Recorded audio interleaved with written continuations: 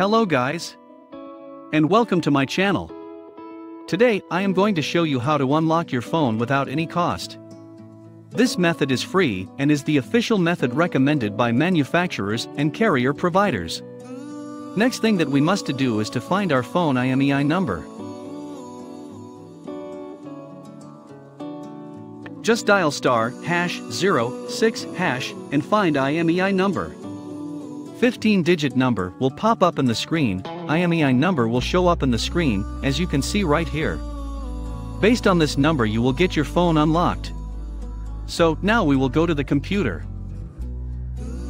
Now, we will access this website. Here will actually unlock your phone.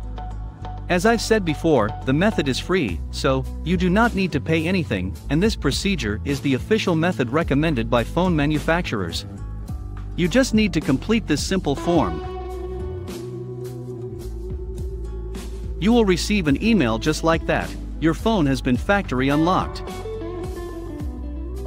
After you receive the email, you need to insert a non-accepted SIM into the phone and restart it.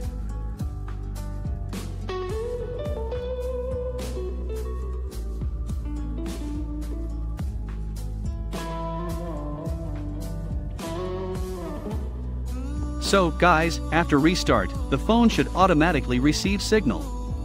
So, from now your phone is unlocked. You can choose any carrier worldwide. Please share and subscribe to my channel. See you to the next video.